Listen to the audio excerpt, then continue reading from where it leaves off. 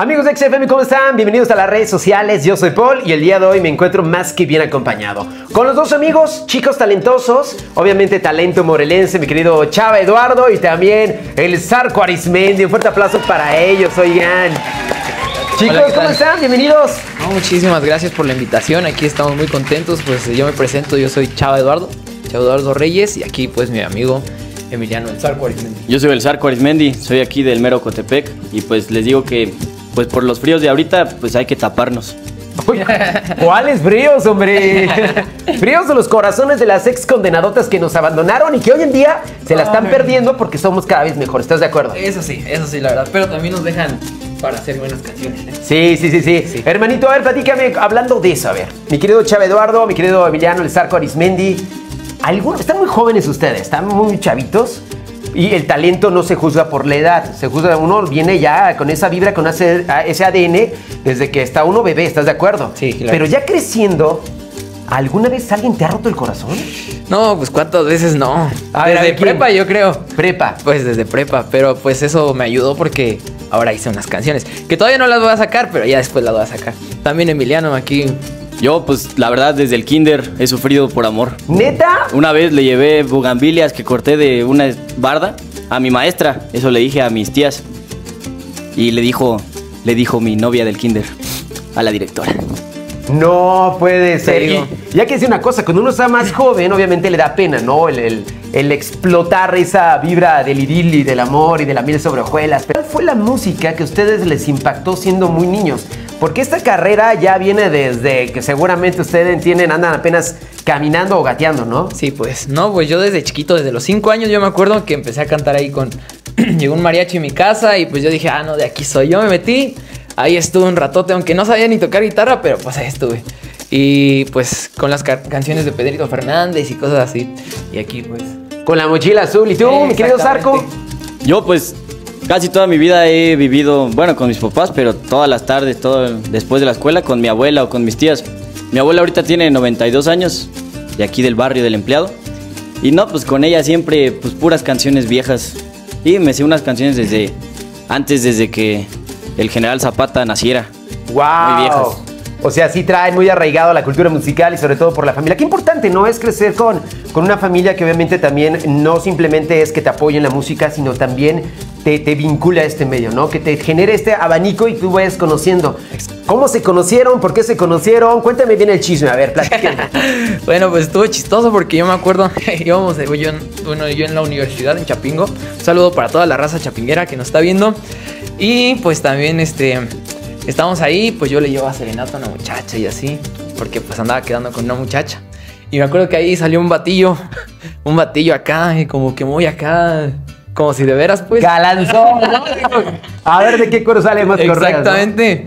¿no? pero pues resulta que eran amigos y yo dice, ah, qué bonito estás tu sombrero y que no sé qué. Le digo, sí, pues sí, yo así me le quedé así como de, ¿tú qué o qué? Pero luego de eso, pues casi llora. ¿Por qué? Porque ya nos hicimos amigos en una noche de, de canciones, pues. Ah, se juntaron, no, o sea, pero... Yo con mi amiga y él con su prometida. Y ya luego no- terminamos en el cerro cantando. Y ya yo le dije a mi compa, oye, veo como que no. Me echo una rola y pues le das un besito, ¿no? En, en el cachete. Y así, así nació la amistad. Y pues ya terminamos en el cerro y pues me ayudó a echarle una serenata. O sea, no, no fue secreto en la montaña. No, no, no, No, no, no, no, no, no. Eso pasó después. Ah, no te eso no. Pues sí. ¿Cuándo surge el concepto de hacer este dueto? Porque obviamente ambos tienen talento. ¿Cómo lo deciden? ¿Cuándo surgió eso? Pues ya después empezamos a cantar más y más y más. En Pues, Michoacán. En Michoacán, eh, un saludo para mi familia allá en Michoacán. Eh, ahí empezamos a platicar de que deberíamos de hacer un proyecto para cantar canciones, nuevas canciones y que las nuevas generaciones también tengan más arraigada pues nuestra cultura mexicana. Y pues dijimos, pues ¿por qué no hacemos un dueto? Y siempre cantábamos una canción que se llama Los dos amigos, que es de Mapimi. Mapimi, un saludo para Mapimi. Y pues de ahí nació Los dos amigos. A ver, un extracto de la rolita, ¿no? Ahí va. ¿Se la chutan? A ver. Los dos amigos. Estos serán dos amigos que venían de Mapimí, que por no venirse de Oquis robaron Guanaceví.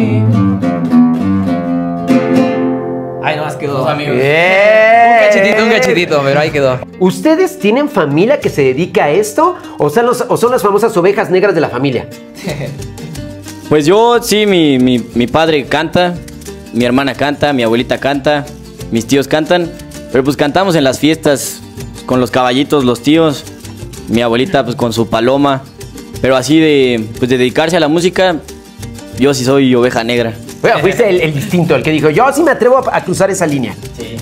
¿Y tú, No, pues chava? yo, pues mi papá no canta, mi mamá no canta, mis hermanas tampoco, pero pues nosotros nos dedicamos a hacer queso. Entonces, quién sabe, a lo mejor soy hijo de lechero. No, pero no creo, ¿eh? No, no, pero sí. lechero, Ok. Pero sí que me gusta mucho la cantada. tus papás, ¿eh? No, no es cierto. Saludos, papás, allá en Michoacán. ¿Están conscientes lo complicado que es este medio? Pues sí, sabemos que, que es complicado, pues, pero también a nosotros nos gusta. Entonces queremos disfrutarlo, queremos divertirnos y pues cantando, que es lo mejor. Cada vez que nos pasa algo así como que no quieran que cantemos o... Nosotros empezamos cantando en taquerías o en rutas para irnos fogueando Sí, exacto. y ya nos hemos presentado pues en lugares grandes. Y cada vez que nos decían que no, siempre nos reíamos y decíamos, eso va a salir en nuestra serie. Aparte de ser complicado, imagínense, cuando llegan escenarios ya más, eh, digamos, robustos, ¿no? Ya con la gente ahí aplaudiendo. ¿Serán las personas que se van a olvidar de su background? ¿Se van a olvidar así, van a ser inalcanzables? ¿O van a ser las clásicas personas que sí vengan, el apapacho? Yo me siento de ustedes. No, pues claro que uno siempre tiene que tener los pies bien puestos en la tierra y yo creo que eso me ha ayudado mucho Emiliano porque él me enseñó, a mí me daba mucha pena así cantar en las taquerías y sí. así, pero pues Emiliano dijo, no, vente, vamos, nos jalamos y con eso como que se me quita el miedo, como que se me quita la pena y pues la verdad yo creo que una persona humilde siempre tiene que uno ser. Pregunta. Para ti, mi querido Sarko Arismendi, ¿cuáles son las tres virtudes que tú le ves a Chava? Y Chava, ¿cuáles son tres virtudes que le ves al Sarco? Pues Chava tiene un gran corazón, Un gran corazón. un grandísimo corazón. La verdad es una persona muy noble, muy grande de corazón Noble, grande corazón. ¿Y cuál más? y, y pues es muy humilde. Eso es lo que yo siempre le veo, Perfecto. la humildad. La humildad, siempre te anda viendo la humildad, ¿no? la humildad. ¿Y tú, mi querido Chava, qué le ves a querido Sarco? No, pues Emiliano es eh, muy extrovertido, como que tiene siempre la más acá a la gente entretenida, una virtud muy buena. Eh, también he visto que siempre tiene la facilidad para hablar con cualquiera y tiene una gran, una gran capacidad para ser alguien muy grande.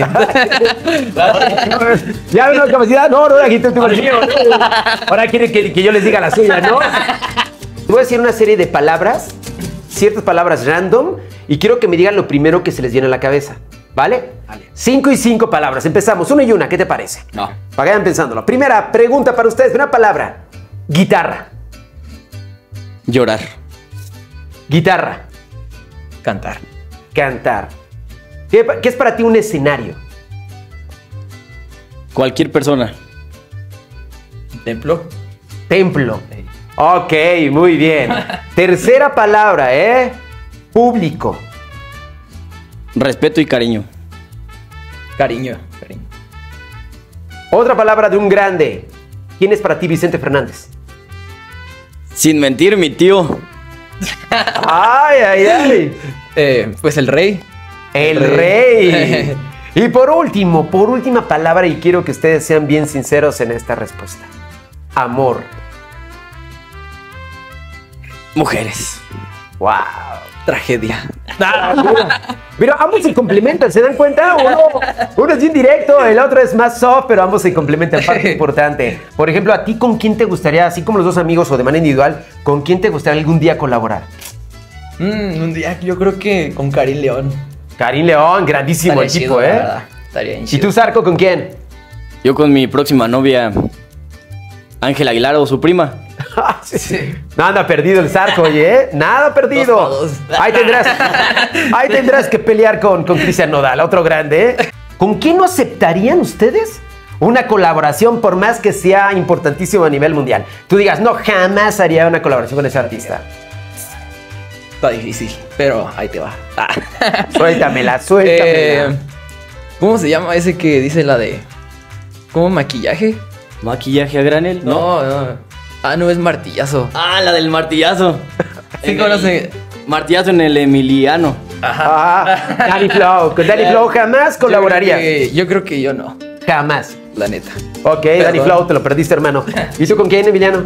Sí, igual como en esos géneros, porque estamos acá más románticos, pues no nos gustan los martillazos, lamentablemente. Emiliano. A nivel de retórica, ¿cómo dirías un martillazo en el Emiliano, pero al estilo de los dos amigos?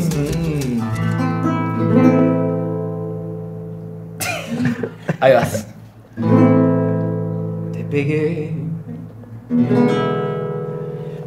En el alma.